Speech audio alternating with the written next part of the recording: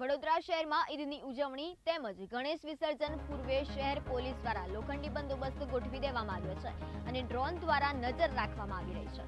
વડોદરામાં આજે ઈદ નિમિત્તે જુલુસ કાઢવામાં આવ્યા હતા તેમજ આવતીકાલે અનંત ચૌદસના દિવસે ગણેશ વિસર્જન કરવામાં આવનાર છે. જે દરમિયાન કોમી એકલાસ અને શાંતિ જળવાઈ રહે તે માટે પોલીસ દ્વારા સંવેદનશીલ વિસ્તારોમાં મોટા પાયે પેટ્રોલિંગ કરવામાં આવી રહ્યું છે.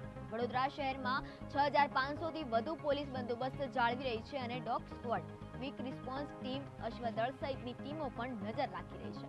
ત્યારે ડ્રોન સર્વેલન્સ પણ કરવામાં આવી રહ્યું છે. ડ્રોન કેમેરા દ્વારા સંવેદનશીલ વિસ્તારમાં પોલીસ ગતિવિધિ પર નજર રાખી રહી છે.